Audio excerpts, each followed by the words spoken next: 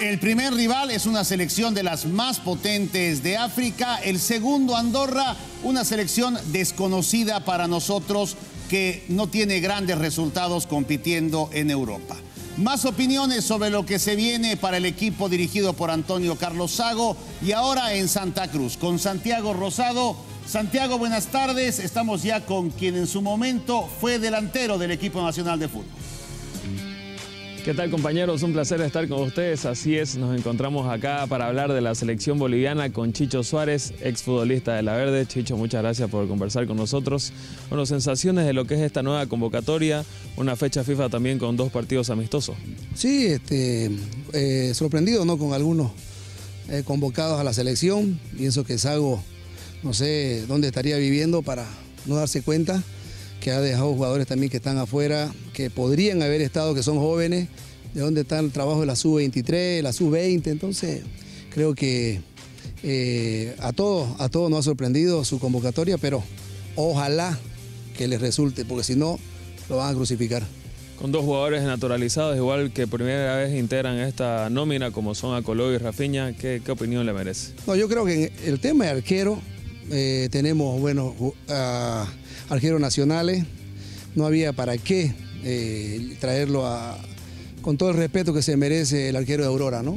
O sea, no somos quien para decir eh, que no debe estar, pero hay arqueros que pueden suplir muy bien eso y, el tema de, también de Rafiña, ¿no? Que todo mundo y también el tema de, Reynoso. Creo que no era el momento para, para convocarlo. El, nivel a nivel, el nivel de selecciones es, otra cosa. Y ahí lo van a ver que va a ser muy diferente, muy difícil. Pero la edad también juega, pues no estás tapando a jugadores que se quieren mostrar, a jugadores que son promesas del fútbol boliviano y, lastimosamente pues seguimos, seguimos lo mismo. Eh, este técnico vino de, buenos extranjeros, pues también qué puedes esperar, ¿no? El extranjero agarra, eh, no te clasifica y se va a su país tranquilo, con los, con los miles de dólares que, le pagan. Entonces, pienso que ahí le pelaron también, ¿no? De los rivales, ¿qué, me puede decir? Primero Argelia y luego Andorra.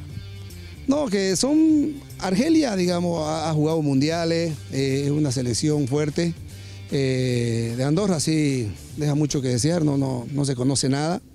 Entonces pienso que eh, hay que buscar rivales que, de verdad a la, selección también le venga bien porque jugar con rivales muy débiles no te da el parámetro, ¿no? Para, saber cómo estamos, para enfrentar a Brasil, vamos a enfrentar al campeón del mundo. Entonces, es otra cosa, ¿no? Las eliminatorias son muy duras, entonces, ojalá que Sago haga un, buen una buena nómina, que no se equivoque mucho, que la selección no es para probar, la selección es para exigir, no eh, resultados. No, no, no conozco una selección que diga, no, esperemos para el año 2050, ganemos el Mundial. No, es aquí y ahora, es en el momento que, se necesita para que los jugadores estén pues eh, enchufados, que estén metidos y bueno, da, mucha pena ¿no? que algunos se hayan quedado afuera. Chicho, un placer como siempre. No, gracias a ustedes. Bueno, compañeros, hasta ahí la palabra de Chicho Suárez que nos contó lo que piensa de esta nueva convocatoria de la selección boliviana. Tigo Sport.